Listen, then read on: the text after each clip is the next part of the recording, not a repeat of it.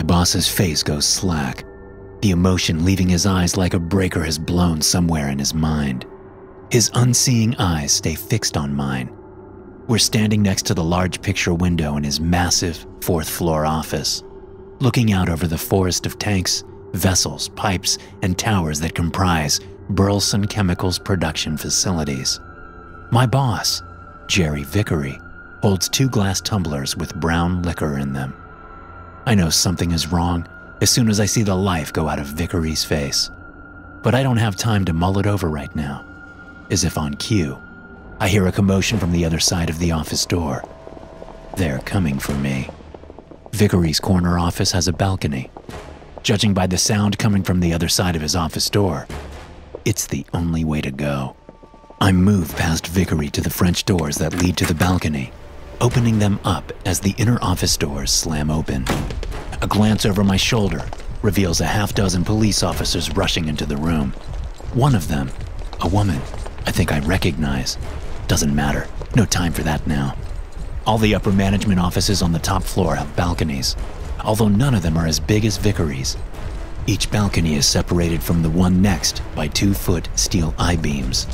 As the cops run out onto the balcony, I'm already reaching across to the next one in line.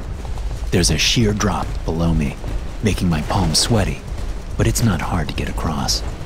Now on the other balcony, I keep going, knowing that the cops will just run around inside and meet me. I move across the third balcony and onto the fourth. It's the last one on this side of the building, so I swing over the railing, yanking open the door and running past Himes, who sits at his desk, his face as slack as Vickery's was when I left him. I make it into the hallway, and the cops immediately spot me from down the hall. I book it away from them, heading for the stairs as heavy footsteps follow me. They don't shout at me to stop. They don't say anything, which is always unnerving. I yank open the heavy metal door to the stairwell to see a burly cop standing there. I shoulder check him, but he's too big. He gets his arms around me and subdues me for the three seconds it takes the other cops to get to me. Now that I'm no longer running, the fear comes on with full force. I can't do it. I can't take it. I plead with them to let me go, tears running down my cheeks as one of them cuffs me. Please, I say. I haven't done anything yet. Please, just let me go. I can't do it again. Please. I look for the female officer I thought I recognized earlier, but all the stern faces that look back at me are foreign. There is something there at the back of my mind. Something about that face. If I could only see it again, I feel it would unlock a door in my memory. It seems important in a distant sort of way. But what's more important is getting away from the police. That's my number one priority. They take me out of the stairwell, clearly heading toward the elevator. I can't run away if I'm in a metal box. There's a window at the end of the hallway, right next to the door to the stairs. I know what lies on the other side of that window. I know every inch of this place. I've worked here for many years. One cop has a hand on my right arm, just above the elbow. Another is walking behind me. The rest of them are ahead. It's now or never. I yank my arm away, turning around as I do. I shoulder check the cop behind me. This one is smaller than me, and he goes down. With my eyes on the rectangular window, I run, gaining as much speed as I can. When I'm about a yard from the window, I throw myself at it, turning so my shoulder hits the window first. The glass shatters as I fly through, sailing out into the quickly dwindling four story gap between me and the parking lot below. I kick my legs as I fall, turning my body all the way around. I see the asphalt race up at me just before I shatter against it in one brilliant moment of immense pain, followed by serene nothingness. The insistent buzzing of an alarm clock prods me back to consciousness. I open my eyes, revealing a wall in my bedroom. My phone vibrates on the nightstand as the alarm sounds. I reach my left hand out to turn it off. As I sit up on the edge of my bed, something drips onto my thigh just beyond the hem of my boxer shorts. It's only when I look down that I realize I'm crying. I don't have to look at the phone to know what day it is. It's the same day I've been living repeatedly for so long, I've lost count. It's the worst day of my life. And not just because I have to live it over and over again. It was the worst day of my life the first time I lived it. I know what deviating from my original schedule will get me. That's why the cops showed up outside Vickery's office a couple of minutes before I killed myself. I deviated from my schedule. I did things differently. Every time I do, they come for me. I don't bother wiping the tears away. Instead, I get in the shower. Then I get dressed and leave the house with a thermos of hot coffee. I stop at Dunkin' Donuts because it's my Friday to bring in treats. I've learned that I can change small things without consequence, as long as they don't affect the original trajectory of my day. So instead of listening to a Michael Connelly audiobook on my way to work, which is what I do when I originally lived this day, I listen to nothing. I think about the movies or shows I've watched where people are stuck in a loop like I am. There are quite a few. No one does any original stories anymore. There's Groundhog Day, there's Palm Springs, Boss Level, and Russian Doll. There are several more that I've never seen, but I can tell without seeing them that they all have one thing in common. The main character always finds a way to end the loop and make things right. This usually involves some kind of revelation, like learning to love or some bullshit like that.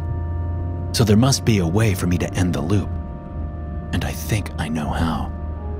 But every time I try by doing something different, the police show up out of nowhere and capture me. And what comes at the end of the day, after I'm captured, well, avoiding that is more important than anything. But if I do nothing, I have to live the worst day of my life over and over again. And each time I do, it makes things worse. The memories build on each other like weights stacked on my shoulders. There must be a way out. There has to be. I get to work, parking in my normal spot, and bring the donuts for everyone on my floor at the office building. I go through the motions, doing my job, not deviating, but always thinking. Thinking about what I need to do to make this stop. Around 4:15 in the afternoon, Vickery calls me to his office. As I step inside, I know I won't deviate now. It didn't work last time, so why would it this time? I have something else in mind, something for later. Vickery congratulates me on the quarterly numbers from my department, handing me a glass of scotch as we stand by the window. This time, I accept the scotch and drink it, just like I did the first time I lived this day. We move over to the couch. Vickery does most of the talking, as he always does. He pours me another drink, and I can tell that he's already had a few. His pour is heavy, and he insists I finish it. So I do. I look at my watch at 4:53, knowing what comes next. Vickery's secretary, a woman named Rainey, knocks on the door and pokes her head in. Excuse me, Mr. Vickery. Mr. Basham has a visitor. Vickery looks at me, his eyes struggling to focus under his bushy black and gray eyebrows. Oh, yes, He says. your little brother, your volunteer work. He says this half mockingly, like volunteer work is beneath him. It's something I never noticed before. Not until the second or third time I lived the day. That's right, I say, his mom is dropping him off. She works nights at St. Francis. So, I better go. I'll see you Monday. Vickery throws a mock salute as I get up off the couch. I want to smack him, but I don't. That would be deviating from the original, but it would probably be worth it. As I head back downstairs, I fish a packet of mints from a pocket and pop one of them in my mouth. Awaiting in my third floor office is Miss Darza and her 12 year old son, Gabriel. One time, I didn't suck on a mint before, and Miss Darza smelled the booze on me. She refused to let me take her son anywhere, big brother or not. As soon as she dragged Gabriel out of the office, the cops came up. I couldn't get away that time, and those things got to me in jail. This time, everything goes as it should. Miss Darza gives me a strange look before she leaves. It's a look she gave me the first day this happened. I just didn't realize what it was. Now I know she smells the booze on me, but probably thinks she's being paranoid. The mint masks it just enough to make her second guess herself. And she heads out of the building, leaving Gabriel with me. How are things? I ask him. Okay. He says, simply. He's a shy kid, but he's slowly opening up to me. Or he was, before. I never found time for a wife and never really wanted kids. But once I found some success in my professional life, I decided I wanted to give a little back.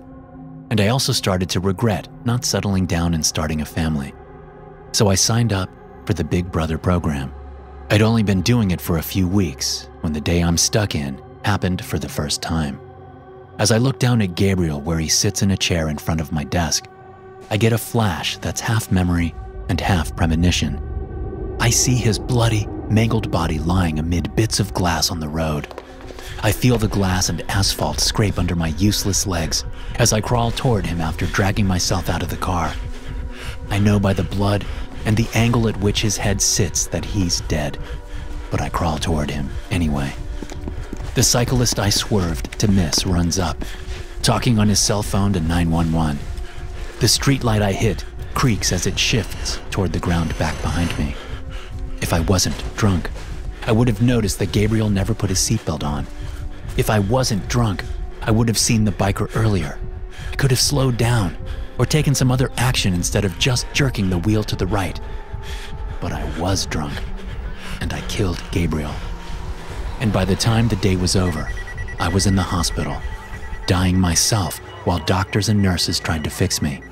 At least, I think I was dying.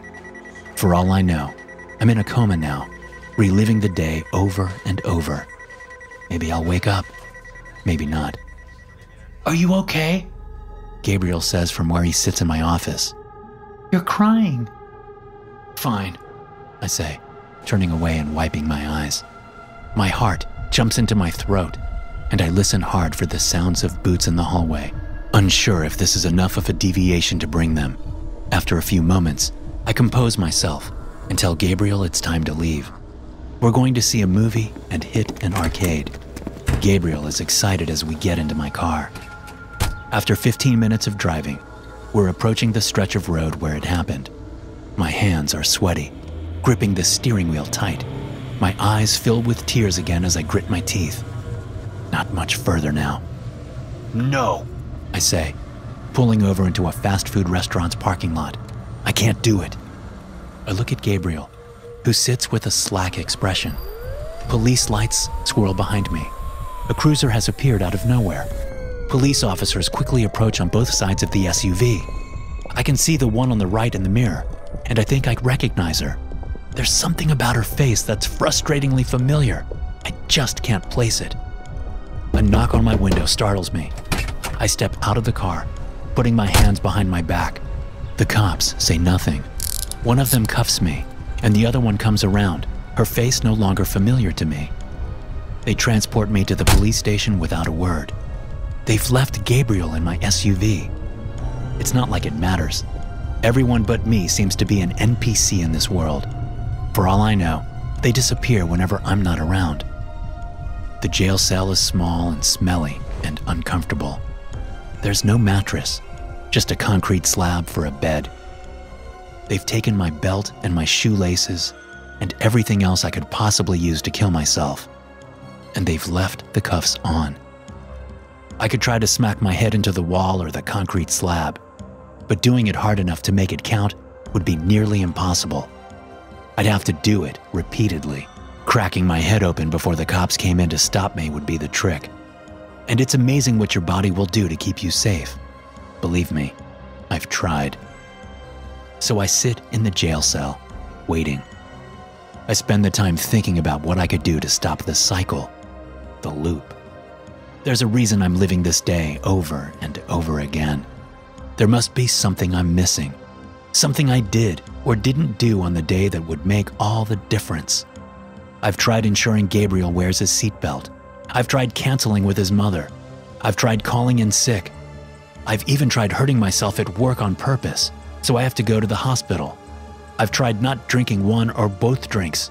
I've tried taking a different route, driving slower, and even having an Uber pick us up from the office. None of it works.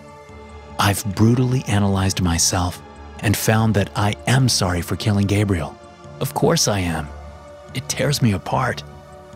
I've been selfish most of my life. I realize that. But every time I change my day to do something for other people, the cops come after me.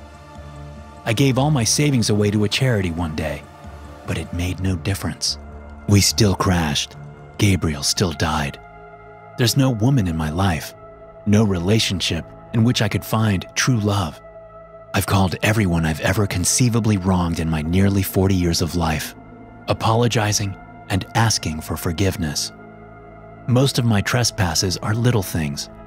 I'm not a great guy, but I'm not a bad guy either. I've led a pretty normal life. I had some wild times in college, but who didn't? I can't think of anything that would make me deserve such a hell. I'm missing something. It's the only answer. Something right under my nose. I grow drowsy thanks to the booze and the constant strain I'm under. Sitting on the concrete slab and leaning back against the wall, I close my eyes. That hauntingly familiar woman's face floats in my mind's eye. She's important somehow. I've seen her face every time the police have grabbed me, or attempted to grab me, is important. But I've looked for her, thinking that I passed her on the street on the way to work. Maybe I had a chance to stop something terrible from happening to her, but I didn't. Or she works at Burleson Chemical, and I somehow influenced the course of her life. I've explored these possibilities before, to no avail. Yet, I know I've seen her face before. She's young and pretty, probably in her early 20s. She has an innocent face, big brown eyes, and a petite nose over a perpetually smiling mouth. I know her, somehow. A snarling sound erupts. My stomach knots, and I become nauseous with dread. My eyes shoot open, and I find that I'm not in the jail cell any longer. I'm in a circle of dim light, surrounded by inky, preternatural darkness. I'm still sitting on a concrete slab, my feet on a concrete floor, but the rest of the cell is gone. No, it's not midnight yet. I say, It can't be. but it is. Another snarl sounds from the darkness. Two glowing amber eyes appear, moving as the creature approaches through the lightless curtain around me. A grinning snout appears in the circle of light, its leathery skin scarred with different shades of gray. The amber eyes join the snout in the light, followed by the rest of the creature's head. Two curving horns come out of the beast's head, where ears would normally be. The rest of the demon comes into the light. Long, contorted arms with overly large hands drag across the floor. Its torso is peppered with knife hilts, the blades buried deep in its flesh. Foul smelling yellow fluid seeps from around the knives.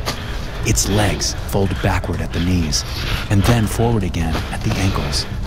The muscles there bulging against the skin. Bone growths emerge here and there across its body. The clawed feet look like they belong to a dinosaur. The creature's snout falls open, and a whip like tongue rolls out on a wave of putrid breath. The tongue splits near the end, like a snake's. I look up at the demon, unable to do anything but breathe in shallow gasps. The tongue shoots out at me, the two tips piercing my eyes like thick needles. I scream out at the blinding pain just as one of its hands comes up and grabs me around the waist, lifting me up and squeezing, shattering my hips like poorly made pottery. The most terrible images flood my brain. Images of a billion people tortured by this creature, interspersed with the vision of Gabriel lying broken on the road and the occasional flash of the young woman's face.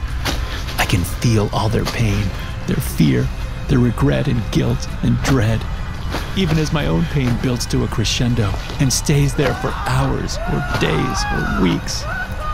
Other demons move like wraiths from the blackness, taking their turns with me, feeding off my screams and my whimpering pleas for respite through death. Time becomes a joke. There's only never ending pain, nothing else. Nothing else but the regret that I didn't kill myself this time. I should have. The insistent buzzing of an alarm clock pulls me out of an eternity of torture. I open my eyes. revealing a wall in my bedroom. My phone vibrates on the nightstand as the alarm goes off. I let it continue buzzing, only reaching a shaking hand out once I realize it isn't some cruel trick. The torture is over, for now. I get another chance to live the worst day of my life over again. This should seem like a well earned vacation after what I've been through, but it doesn't. A different sort of dread constricts my bowels. I have to get up and go through the motions again, so I do. I'm driving to work, going over and over the same thoughts and memories I've gone over countless times. I'm coming up on a bridge over a busy highway when the futility of it all presses down on me. My foot slams down on the gas pedal, and the needle quickly creeps up towards 70 miles an hour. I jerk the wheel to the right, aiming directly at the edge of the concrete barrier where it curves up from the ground. My SUV runs up the side of the barrier, launching into the air and spinning slowly on its axis as it sails out toward the traffic rushing past below. I come down roof first onto the cab of a semi truck in a blast of shattering glass and grinding metal. I wake up in my bed to my buzzing alarm. I shut the alarm off and close my eyes. Wishing it all away, sleep crowds in. I wake up to the sound of tires screeching outside my house. I've slept in long enough to mess with the important parts of my day. My front door smashes in just as I scramble out of bed and into the bathroom, slamming the door. I grab one of my disposable razors and start struggling to get one of the tiny blades out. When I hear them getting closer, I realize there's no more time. I punch the mirror as hard as I can, shattering the glass. I grab a large shard with my bleeding hand and drag it across my throat. They bust the bathroom door open, but it's too late. Blood pours out of the wound in my neck, soaking my torso and making me warm from the outside as I get cold from the inside. I wake up in my bed to my buzzing alarm. You would think killing yourself would get easier the more you do it, but it doesn't. If anything, it gets harder. It takes emotional and physical energy. I can't do it again. Not yet. So I get out of bed and take my shower. I drive to work, getting donuts on the way. On my lunch break, I decide to continue searching for people I might have wronged. I've covered all the major ones but maybe there's someone else. Maybe the young woman whose face I keep seeing isn't a person I've interacted with in recent years, but one I knew back in my college days. I quickly find a website that offers to find college alumni from any university for a fee. I pay the fee without a second thought and fill in the information. The website does its thing and then brings up a list of my graduating class. It also lists a bunch of news stories from NAU around that time. I scroll through the names first, seeing if any of them jump out at me. I recognize several names, but they're people I've already contacted, or those I had little interaction with. When I scroll down to the news stories, my heart jumps as I read the fifth one down. Police charge two men with the rape and murder of a young local woman. There's a flicker of memory that surfaces with the headline. My hand is shaking so badly, I have to concentrate to hover the mouse over the link when I do click on it, I'm taken to an old archived news page from the Flagstaff Sun newspaper. The piece features a full color picture of a pretty young woman with big brown eyes, an innocent face, and lips that curl up naturally, giving her a happy look. The caption underneath says her name was Shelley Warburton. After reading the headline, seeing her photo brings it all flooding back. I was at a house party off campus toward the end of my senior year. The house was off in the woods on the outskirts of town. The long driveway was packed with cars, and there were a ton of people dancing and drinking and talking and acting a fool both inside and outside. It was late, and I'd been drinking pretty heavily when I stumbled away from the house and into the woods, thinking I was going to vomit. I soon found myself far away from the house heading to where I thought the residential road was. There was no reason for me to be out there. I was just wandering around, stupid drunk. But when I pushed through some bushes near the road, I saw some movement off to my right. down in the wide but shallow drainage ditch that was hidden by bushes on both sides. There were two men and a young woman there. The woman, Shelley Warburton, was on her back in the ditch, with one man leaning over her on his knees. The other man was standing to the side, looking down. Both their heads moved to me as I stepped through the bushes. I looked at them, and right away I knew something bad was happening. Even through my drunken haze, it seemed wrong. The men were considerably older than the young woman. Nothing inherently wrong with that, I guess, as long as everyone's legal and consenting. But then I saw Shelley's face, and she didn't look like she was in any state to consent to anything. She was rolling her head slowly from side to side, mumbling. Her eyes were half closed, her lips pursed together when they weren't moving. I wobbled there, looking at the two men. Whoa, I said, stupidly. what's going on? Don't mind us. The man standing said. We're just trying to get our niece home safely. She's had a bit much. I just stared, trying to compute his words through my reduced IQ. Come on, Dave. The guy said to the man on all fours. Let's get her up. They each took an arm and lifted her up. I noticed she was wearing a skirt and that it fell back down over her legs when they lifted her up. I wondered why it had been up in the first place. A bad feeling took hold, adrenaline shooting through my body. I walked across the shallow drainage ditch and through the other bushes to see that the men had a car there on the road. They were struggling to get the limp girl into the car while she murmured at them. The two men kept glancing back at me. I knew they weren't her uncles. I knew they were about to rape her when I came through the bushes. And I knew I was the only one who could stop it. There was no one else around. No cars passing on the road. No people wandering out this far from the party. I stood there, frozen with a combination of fear and drunken stupidity. And when they finally got her legs into the car and were shutting the door, Shelley seemed to have a moment of clarity. She said, No! Just before they slammed the door. One of them looked at me, then got into the front seat. The other one tracked around the back of the car and opened the driver's door. He looked back at me, and he smiled. As the car started away from me, I saw Shelley's head pop up in the back window, big eyes wide as she looked back at me. Then the man in the front passenger seat reached back and yanked her head down. I stood there in the road until a car coming up behind me honked, the driver yelling at me to get out of the road. I walked back to the party, still drunk in body, but sober in mind. And I never told anyone about it.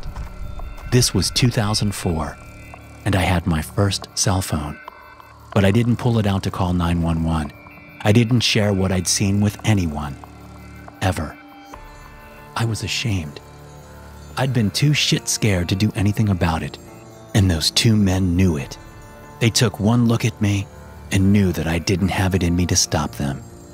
As the days passed, I convinced myself I'd seen it wrong. It really was a couple of caring uncles helping their niece out, I told myself, purposely avoiding the news until my graduation wasn't difficult. Smartphones weren't around then, so it was easy to avoid the headlines. Soon, I was gone from Flagstaff, gone from that campus and those people, and I managed to bury the memory, the shame. I buried it deep, but now it's back, making me sick.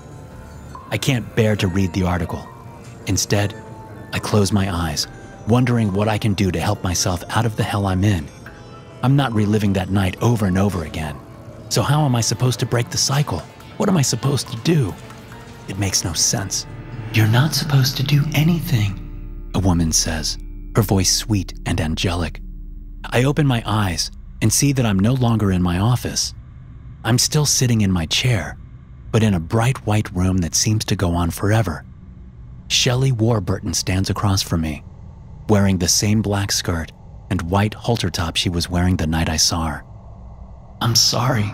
I tell her. I really am. I should have done something about it. I should have stopped them. Yes, she says. You should have. Why didn't you? I. I. I don't know.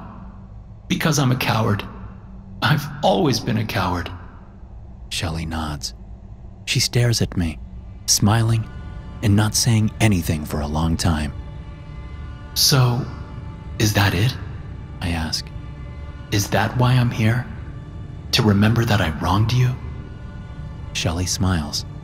The white room suddenly goes dark, all except for a circle of light encompassing Shelley and me. No, you really don't understand this, do you? You're not here to change anything. You can't change anything. There is no secret key to getting past this, no epiphany that will set you free. This is hell, Jared Basham. You get to live the worst day of your life over and over again. But now, we'll be able to use this memory, your memory of me, to make things a little worse for you. We'll continue to dig up your guilt, your worst fears, and your greatest inadequacies. There is no escape. Your choices in life have brought you here, and here you'll stay. No! I say, feeling the little glimmer of hope I had dwindling away. I don't deserve this. I didn't kill you. I didn't rape you. And killing Gabriel was an accident. I didn't mean it. I didn't mean any of it. Shelley's face cracks open as she steps toward me. The craggy, terrible face of a demon ripping through her skin. And what about all the good work you've done during your career? She says, her voice changing just as her body does, going from angelic to demonic. What about all the cancer, the poisoned water, the birth defects? What about your testimony to Congress, your lies? How much money did they pay you to uphold their lies? Did you think you wouldn't have to pay for all the lives you've helped destroy? Now fully transformed, the creature pins me down, pressing me against the concrete slab that's suddenly there. It digs right into my arm with its razor sharp claws, then proceeds to rip out the bones in my arm, one at a time, as I scream. Pain becomes all. Memories of that night play over and again in my head, taunting me, while the demon rips my bones out of my body with agonizing slowness. Time becomes a joke.